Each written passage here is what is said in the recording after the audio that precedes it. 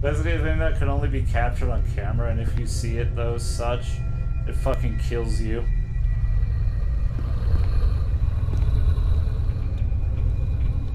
Ah.